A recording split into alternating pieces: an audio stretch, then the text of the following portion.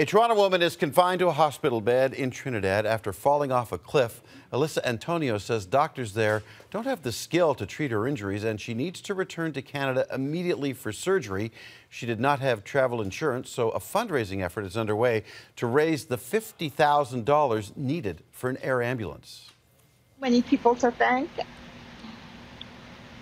that no, wor- no words can express how I'm feeling. It was just overwhelming to see how much people are doing, and some people are doing for someone they don't even know.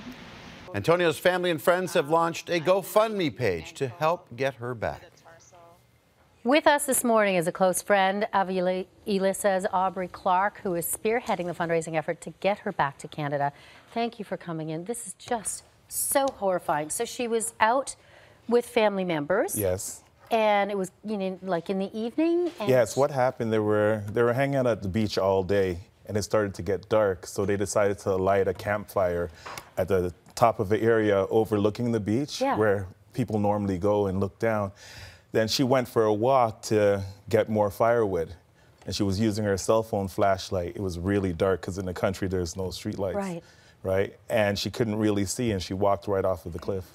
It's and so she has obviously very serious and horrific injuries, some of which can't even properly be diagnosed there. Right, because uh, the CT scan in the hospital isn't working. So it's been 14 days and she hasn't even had a CT scan yet, which is and scary. she could have internal injuries. Yes, she could be bleeding internally and we wouldn't know. You can tell by her stomach. It's you. Know, right, it's extended, right? So there's a lot of inflammation. And if you know anything about pelvic injuries, if they're not treated right away, it could lead to pneumonia and other complications, other infections. So it's very important that we get her back right away. This is why we're raising she can't the funds. move. No, she can't. She can't even wipe herself. So she's in tears. She actually wakes up screaming, thinking that she's falling. That's how horrific it is for her. So she doesn't have or didn't have travel insurance. No, which didn't. is always the you know right, right. the lesson learned. Except it's you know, but right now you've got this fundraising campaign because it's going to cost a lot of money to bring her back. Yeah, it's costing us about $50,000, wow. give or take. Yes, we've gotten several quotes, but then the quotes always say that more costs can arise.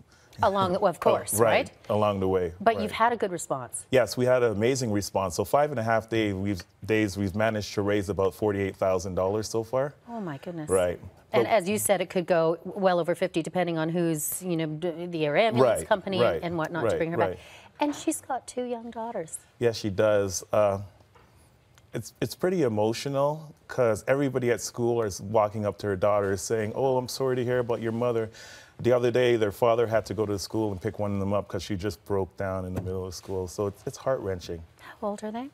Uh, I think in and 12, around. 12 yeah. 15. Young. Yeah, um, young. And so at this stage, Aubrey, does it look like, you know, pending the money, you'd be able to get her home in the next little while? Well, or? I'm negotiating with the air ambulance company for proof of funds because GoFundMe takes three to seven days to transfer the money.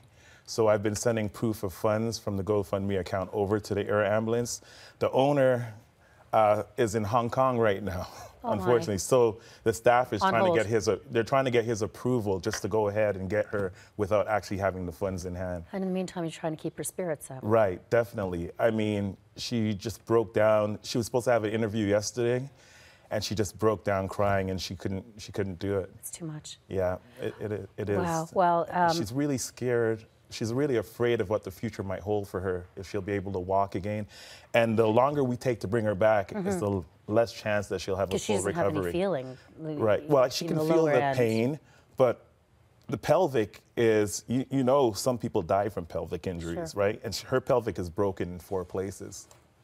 And her, and her sacrum is also fractured, where your spine connects to the back. Okay. Right. So we're going to keep in touch with you, um, Thank you. and follow the campaign and, and hope for the very best. Godspeed for her. Thank yes. you for coming in. Thank you for having me.